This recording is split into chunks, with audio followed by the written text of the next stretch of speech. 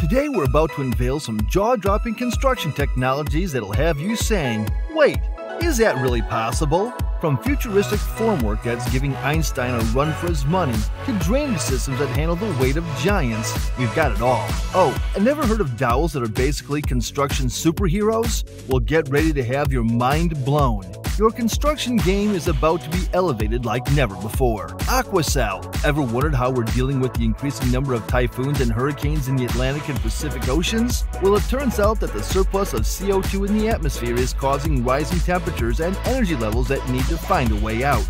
And that's where AquaCell steps in an advanced control lightweight design system that's making waves. When it comes to installation, the NG version of AquaCell can be set up three times faster than its older counterparts. That means less time scratching your head and more time getting things done on the construction site. AquaCell isn't just a fancy name. It's made from recycled polypropylene, so you're not just building structures, you're building a sustainable future. And it's not playing around when it comes to water storage either. This tech marvel can collect and store up to a whopping 306 liters of water in a single tank.